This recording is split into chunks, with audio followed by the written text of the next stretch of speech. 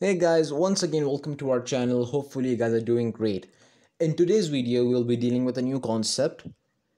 That reminds me, actually it's not a new concept, but we have been discussed we have discussed this uh, concept in our previous video and that was introduction to electron shells where we discussed how we can deduce the electronic configuration, how we can writing on the special notation the electronic configuration, we can also draw the structures of an atom and etc etc. But in this video, it's special because we will be discussing that advanced level, all right? And that advanced level, as you can suggest by the video's thumbnail, you will be familiar with that. You will have an idea of what exactly we are trying to discuss with you guys. So that as you can suggest by the video's thumbnail, electron shells, principal quantum numbers. And the main point is not electron shells. The main point is about principal quantum numbers that we're going to discuss in today's video. So without wasting our precious time, let us just jump directly into the topic. All right. The principal quantum numbers, it's a new topic, new concept, but yeah, it's related to the electron shells. Now, shells, or more familiar, more advanced, principal quantum shells. Now, the arrangement of electrons in an atom is called the electronic configuration. Now, the electronic con this is the basic definition of what you mean electronic configuration. It's the simple definition, the arrangement of electrons in an atom is called the electronic configuration. Now, electrons are arranged around the nucleus in shells. Okay. It's basically the IGCSE level I'm talking about.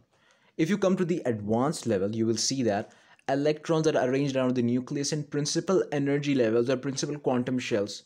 Means the same thing but yeah it's a, I told you it's an advanced level.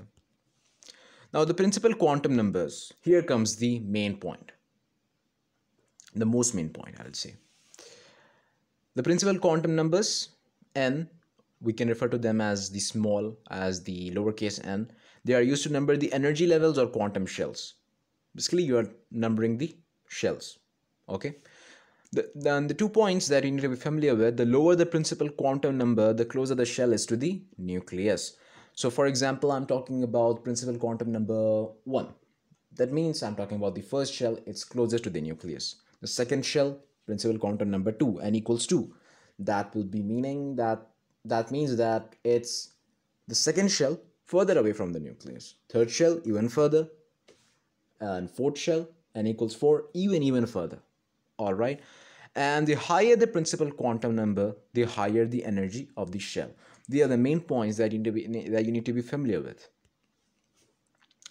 Now each principal quantum number has a fixed number of electrons it can hold okay? Each principal quantum number has a fixed number of electrons it can hold n equals 1 n equals 2 n equals 3 these are all principal quantum numbers and they can hold they can accommodate a fixed number of electrons. Not uh, it can hold less than that but it cannot exceed that limit. All right? So if you're talking about first shell n equals 1 one second let me just yeah bring it here. So these if you talk about this one n equals 1 it can hold up to 2 electrons n equals to 2 up to 8 electrons n equals 3 up to 18 electrons n equals 4 up to 32 electrons. All right? So as you move further away from the shell you will see that uh, if you go to the first shell 2 electrons second shell 8 electrons third shell 18 electrons fourth shell 32 electrons. But in this level you're just um, in your levels in IGCSE AS and A levels you need to be just familiar with four shells I guess. All right so these are the things important things that you need to be taking that you need to take into account. All right? Moving on. Now to make it to make things easier this is a diagrammatic snapshot of how the electrons are arranged in the nucleus. What are the principal quantum numbers? How is everything happening? Uh, how the previous slide is just summarized into this whole diagram all right. So electrons are arranged in the principal quantum shells which are number of principal quantum numbers. So you can see that as we are moving further away from the nucleus increasing the distance from the nucleus we're increasing the energy. All right.